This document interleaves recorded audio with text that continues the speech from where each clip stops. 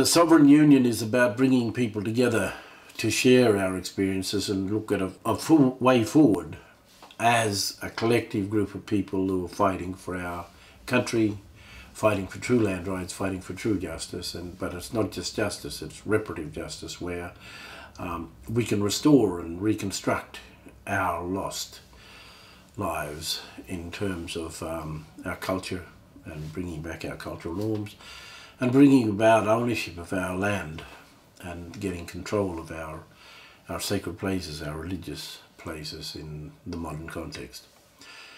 So the Sovereign Union is about um, unifying people with a common purpose. And the Sovereign Union is not about Michael Anderson, it's not about me. It's about creating a, a powerful platform where people join together um, to share our common experiences and work together as a collective. Instead of one person taking it on, there is a whole number of people taking it on and um, having a clear understanding of all those rights. And so I invite people to participate uh, in this sovereign union this coming November 2016 because it's essential for us to understand where we're at.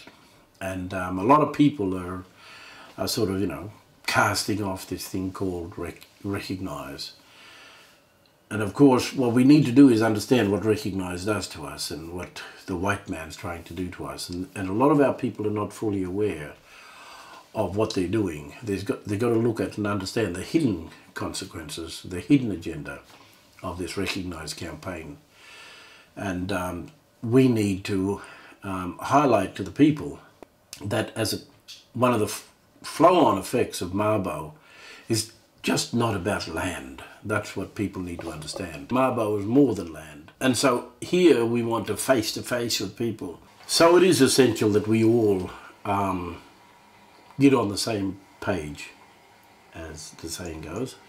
Let's get on the same page so, so that we're moving forward together the fact is that the Black Power movement in the 70s was effective because whilst we had our own political ideological differences, the fact is that we fought as one on the streets for one purpose, land rights.